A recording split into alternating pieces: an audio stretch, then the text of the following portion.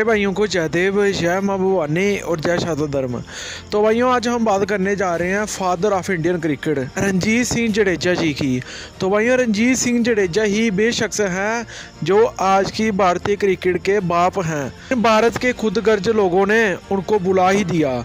तो भाइयों, अगर उन्होंने किसी और कौम में जन्म लिया होता तो आज मोदी साहब जगह जगह जितने भी भारत में स्टेडियम बने हुए हैं, जहाँ पर क्रिकेट खेली जाती है, वहाँ पर उनकी मूर्ति लगवा देते। लेकिन आज उनको कोई याद नहीं करता।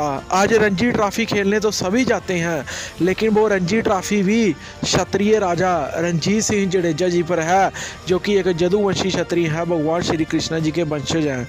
तो भाइयों, जामनगर के वो महाराजा थे, वो बात तो मानेगी नहीं वैसे क्षत्रियों की, लेकिन फिर भी ये बात बोलना चाहता हूँ कि अगर तुम्हें सच में अपने बाप से प्यार है? तुम्हारा बाप रंजीत सिंह जडेजा है, जो क्रिकेट इंडिया क्रिकेट का बाप है।